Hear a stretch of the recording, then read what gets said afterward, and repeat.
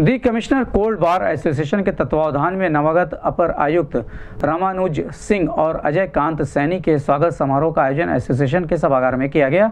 इस मौके पर एसोसिएशन के अध्यक्ष अखिलेश्वर कुमार शाही, मंत्री सतीश चंद्र पांडे, भास्कर शुक्ला सहित अन्य पदाधिकारी और अधिवक्ता मौजूद रहे। कार्यक्रम में नवागत अपर आयुक्त का अधिवक्ताओं ने माल्यार्पण करके उनका भव्य स्वागत किया। इस अवसर पर अपर आयुक्त ने कहा कि बार और बेंच में सामंजस्य स्थापित करके न्याय प्रक्रिया सरल बनाया जा सकता है, जिससे मुकदमों का समय से निस्तारण किया जा सके। गोरखपुर न्यूज़ से बात करते हुए नवागत अपर आयुक्त अजय कांत सैनी और रमानुज सिंह ने कहा।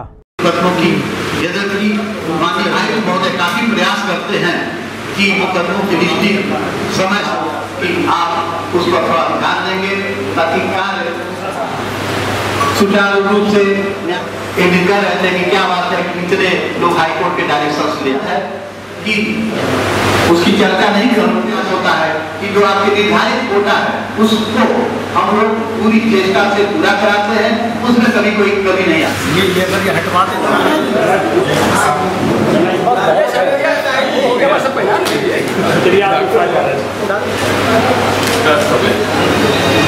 बार और बेंच का हमेशा संबंध बहुत बराबर बराबर का होता है और कभी भी जो भी बात कार्यों के हित में अगर हम सब लोग पूरा प्रयास करते हैं तो कहीं कोई समस्या नहीं आती है। कभी कभार ऐसा होता है।